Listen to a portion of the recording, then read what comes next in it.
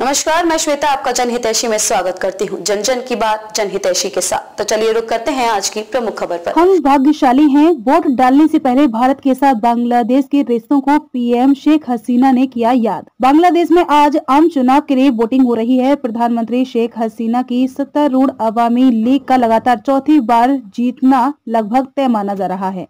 पूर्व प्रधानमंत्री खालिदा जिया की मुख्य विपक्षी बांग्लादेश नेशन लिस्ट पार्टी ने चुनाव का बहिष्कार किया है। देश भर में लगभग आठ लाख पुलिस, अर्धसैनिक बल और पुलिस सहायक रविवार को मतदान केंद्रों की सुरक्षा में जुटे हैं।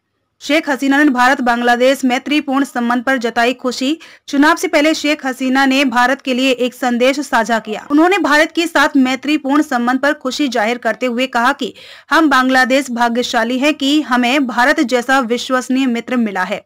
उन्होंने सन 1971 में मुक्ति संग्राम के दौरान भारत की समर्थन का भी ज़िक्र किया। उनकी सरकार ने देश में लोकतंत्र किया मज़बूत, शेख हसीना।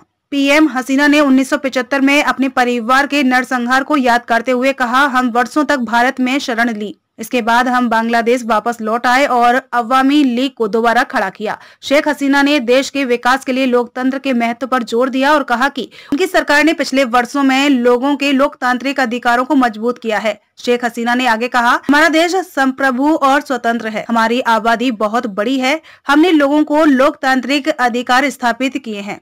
मैं यह सुनिश्चित करना चाहती हूँ कि इस देश में लोकतंत्र जारी रहना चाहिए और लोकतंत्र के बिना आप कोई विकास नहीं कर सकते।